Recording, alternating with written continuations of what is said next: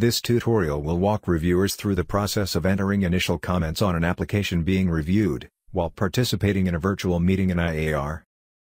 During the submit phase, when reviewers are ready to submit critiques for their assigned applications, they should add a few comments in the discussion initial comments box, on the Submit Critiques and Scores screen.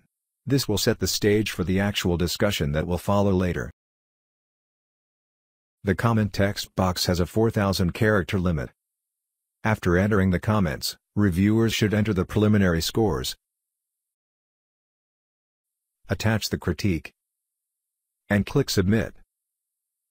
The initial comments can be updated by the reviewers during the read phase, when the initial comments link will appear in the action column.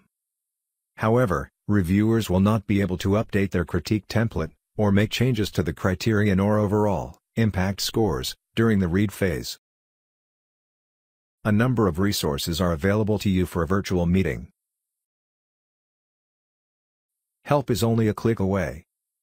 Clicking on any of the question marks on the virtual meeting screens will bring you to the virtual meeting online help for that topic, with step-by-step -step instructions and screenshots.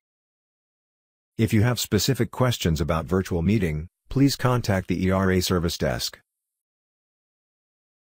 This concludes the tutorial on entering initial comments. Thanks for watching.